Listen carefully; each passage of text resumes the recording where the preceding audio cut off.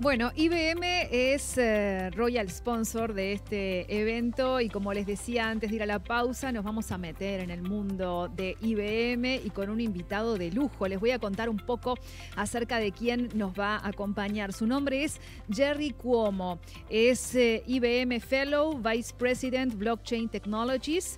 Es reconocido como uno de los más prolíficos contribuyentes al negocio del software de IBM, produciendo productos y tecnologías que han impactado profundamente. Además, tiene el prestigioso título de IBM Fellow. Es un título que muy pocas personas han accedido al mismo. Fíjense ustedes que en 106 años de existencia de IBM, solamente 300 becarios han sido nombrados como Fellows. Así que tenemos realmente una persona muy destacada es un verdadero honor y es alguien que no da conferencias habitualmente. Hi Jerry, how are you?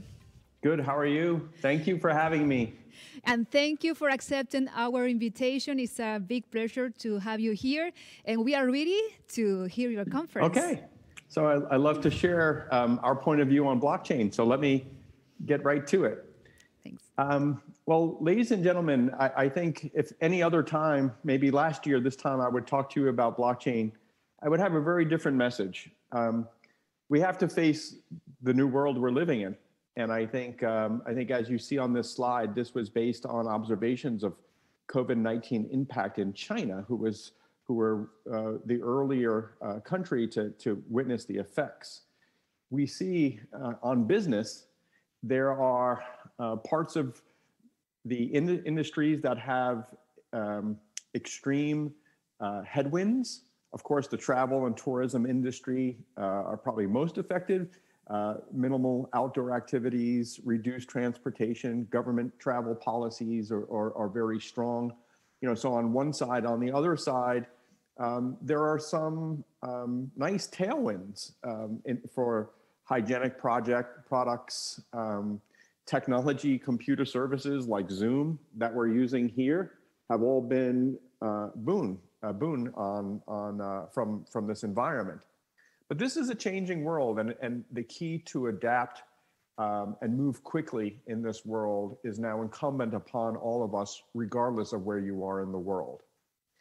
And yes, I'm going to make the pivot to blockchain now because I do believe that what this new world needs, the new normal needs, at, at the center is speed to move fast. And to move fast, trust is really important, especially in a digital world. And when we look across this spectrum, I'll just pick on a couple things. Um, technology computer services. With everyone or many of us working from home, using online services is an important day-to-day fact. But you can imagine the help desks that are behind these services are also seeing a massive amount of traffic of people needing help. Those help desks have to verify the users, the authenticity, um, so that they can give them the right level of service. So verification services to trust the end user is, is, is important. Hygienic project, products, all kinds of products are coming out. How many of them truly do what they say? Can we trace back the authenticity, right? Now, it's not that we can't do these things. We can do all of these things, but we must do them quicker now and do them digitally, right? And I think this starts to really open up a new opportunity for blockchain to really help hasten the effects of Corona 19 and get us back to some form of the new normal. And um, let me uh, share two quick examples with you that we're seeing in IBM, how blockchain is coming uh, to the center. And we've seen supply chains across the world interrupted. Um, and in many cases, the items in question were not, were available, but they just weren't visible. Uh, your supply chain and your suppliers may have been depleted, but other supply chains may have had the item. So what we see, what we saw is really some inflexibility in supply chains. And also new players who are supplying, like in the USA, Ford Motor Company started making ventilators. And I don't know that um, Ford Motor Company is on the approved list for certain uh, buyers, like hospitals.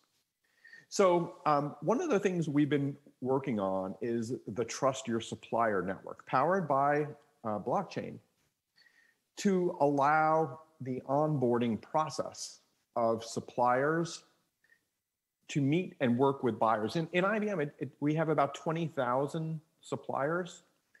And I can imagine uh, hospitals have at least that many. Um, you know, government agencies, probably way more than that.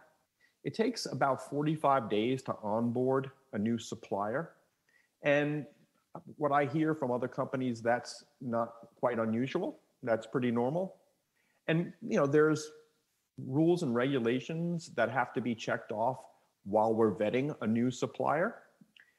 Um, so if we take a shared approach here, maybe um, if someone has gone the 45 days to sign up to be a supplier to IBM, someone that is participating in the IBM network, like one of our business partners, let's take Lenovo, if that supplier wants to be a supplier for Lenovo, instead of taking 45 days, maybe it only takes five days to do, right? So that's now, you know, uh, allowing new suppliers to come on rapidly and also exposing suppliers to a broader set of buyers, right? So trust your supplier is just in time. We started working on this before COVID. And when COVID hit, we said, oh my gosh, let's work with medical communities to start, you know, leveraging uh, this network. And we've made this available um, um, over the over the summer uh, for for buyers and suppliers to use. So it's a great example of the distributed, shared, trusted nature of blockchain, allowing um, more agility, more flexibility, more speed in your supply chain. Data. Um, trust in data is critical. And one of the things that uh, we're seeing is um, the need for verified, attested data. Yes, there's plenty of data available from multiple organizations. But to truly move fast and react to that data, we need to trust that that data is authentic and hasn't been tampered with uh, either maliciously or, or accidentally. Um, some novel work happening around trusted data related to COVID 19 is a network called the MiPasa network. If you go to mipasa.org, you will see the wonderful data hub that has been created on top of the Hyperledger Fabric, which is an open source blockchain that it happens to be what fuels the IBM blockchain. And this is um, providing data, verified data from the World Health Organization, um, hospitals like Johns Hopkins University, governments, and is creating this hub uh, both providing the multi-party verification, but also kind of a platform for building new applications that maybe mash up the data, do analytics, and recontribute that data as new data streams uh, for the hub. Again, trust equals speed um, equals you know uh, outcomes and and results. So we are in this new norm and blockchain. We have examples of blockchain aiding in the distribution of trusted information um, for supply chain, for um, general COVID data, and many more examples. Trust is an important part of everything we do. And in this new normal, bringing technology to bear, um, like AI and IoT. And I believe blockchain is at the nexus of new technology, really bringing, of course, that element of trust. Um, and you know, when you think about AI and and models, AI models, and machine learning or training of, of these models, the training data. How could we or, or why should we trust this data? I mean, uh, around the world now, when you produce a piece of food, it usually comes with a government label that shows you what food is actually in that product. But there's no such label on, on AI um, models or AI training data. We don't really know. There is no uh, audit trail or, or, provenance back to the originators of, of that data. And the same thing is true for IoT. How do we really know that that IoT sensor hasn't uh, been tampered with? What, what is the origin of the firmware in that IoT device that it's t- saying um, that it's reporting on temperature or reporting on location of a car? Um, how do we really know that that data is true? So we are really looking at blockchain inside, blockchain inside these emerging technologies to bring that level of trust, right? So um, this is an example that uh, we've encountered at least twice with IBM blockchain. And in, you know, in a world of, of, um, of COVID, you know, the, the art of renting a car, um, as an example, um, has been really changed. You, you, can see both opportunistic new companies coming in with touchless car sharing, and on the other side, uh, more established rental car companies really struggling, right? And kind of bringing these pieces together around blockchain, where there's a secure environment for doing uh, touchless payments, verifying location, and this notion of an autonomous smart contract, ensuring that your um, insurance, your um, your payment, um, your availability of the car that you're standing in front of, ultimately to deliver the digital key that you can press and let yourself into the car, you know, without having to really interact with another human. So blockchain transaction platforms that bring uh, AI and IoT to bear around these autonomous executing contracts is just in time for the COVID environment. Let me take a step back and, and tell you how we got here. And, and I, I know blockchain is a fuel for multiple things. Uh, and cryptocurrency has held its value through the last few months, which was is interesting to see. Um, but in, in, in, IBM, what really inspires us is kind of this journey. You know, we we've we have a history in transaction systems. Still, many of the world's um, enterprises run on IBM systems. And you know, if you look at the various generations from the mainframe generation of transaction processing to the distributed web-based um, and mobile-based transaction systems, again, IBM has always been in the center of this these trends in in in transactions. So, having put my kids through school around transaction processing and a product called WebSphere, I was tuned into this. And then when we saw Bitcoin uh, come on the scene, um, it got our attention. Um, and is there a new way to transact here? And, and we asked the question, but yes, there, there, there may be a new way to transact, but what about other applications that other industries and governments care about? I mean, if there's a thousand applications for blockchain, maybe cryptocurrency is one, but what about the other 999? Then we saw Ethereum, and we really were inspired when we saw this thing called a smart contract, because in the smart contract, it really helped us bridge the gap between blockchain applied to all of these industries through the programmability of transactions through smart contracts. But there was something missing from Ethereum, which was the element of, of trust, um, the element of accountability.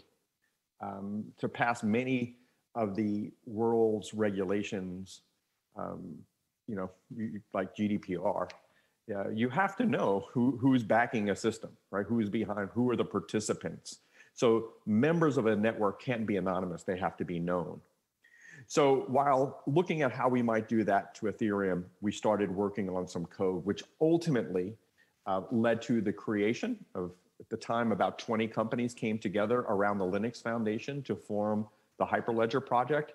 And the code we started building became Hyperledger Fabric. And today, you know, some four years and a half later, IBM Blockchain is supporting about 1,100 networks um, worldwide about 10% of those are active consortia networks, and, and several of those are changing everyday life, especially in this new normal. So if you look at what these examples are building on, they're building on the IBM blockchain platform. The center of this is open source. We have a commercial distribution of Hyperledger Fabric that we stand behind. It is 100% authentic, but we pick the version from GitHub, we run a battery of tests against it, and we certify that particular build. It's something we can stand behind and offer support. And yes, some people forget, they think blockchain is magic. It, it is magical, but it is also software, and humans write software, and humans tend to make uh, errors from time to time. So the ability to continue to improve, to maintain, and to support the software is critical. We have some advanced tooling that sits on top of Hyperledger Fabric to make it easy to build and operate networks. Um, while these tools um, are specific to IBM blockchain, they generate 100% Hyperledger Fabric um, uh, authentic artifacts, meaning if you build a network with these tools or you've been operating these with our tools, um, and for whatever reason you get disappointed in IBM, you can pick pick up your network and move it to to another place. You can move it to uh, you know Amazon with their blockchain service, which is also built on Hyperledger Fabric, as is Oracle's and several others around the world. So you have freedom of, of action even if you use our advanced tooling. Networks are meant to be distributed in blockchain. So um, nodes in our network could run anywhere. And we do that through the magic of open source technology and specifically Kubernetes, um, the IBM Kubernetes service, and of course, Red Hat OpenShift. And that gives us entree to run nodes in a blockchain network on any of the popular clouds, as well as on your own premises and in combinations thereof, right? So that's kind of a snapshot of IBM blockchain platform. Um, recently, now available is the IBM blockchain platform in the Red Hat marketplace. And this has um, a couple of things that are pretty interesting. You can uh, kind of digitally serve yourself. And again, in, in the COVID world, that might be uh, useful because um, um, uh, we probably won't be flying to your location anytime soon, but we'd love to do a, a Zoom with you. But um, you don't have to because it's all there um, online to, to not only um, learn about, but you can actually try it right there. So there, we have a 30 day free trial and you can actually instantiate it right there in off the marketplace. So um, you could uh, not only learn about it, but you can try it and, and, and go through the points I was saying. And maybe, you know, uh, next time I give a talk like this, I'll give, uh, I'll show one of your examples. So uh, I, I, know I've kind of gone through this very, very fast, but the the message is is we're in a new normal, and it's um, you know it's it's it's a it's a wonderful time to embrace that new normal. I think in embracing the new normal, um, trust is key because trust um, will allow us to consume new digital services with with with speed uh, that comes with the certainty and assurance that those services are authentic the data within those uh, those uh, services have been attested um, and we've been working on networks like the Trust Your Supplier network, uh, the SecureKey Verified Me network for, for uh, verification of, of identity, and, and, and many others that play very well into this new normal.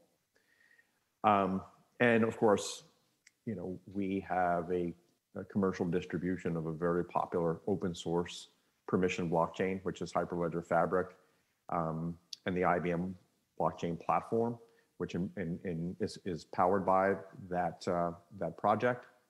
And it's available today uh, for a free trial on, on the, uh, Red Hat Marketplace. So um, I'm not sure if there's a way to take questions, but I probably have about three minutes left.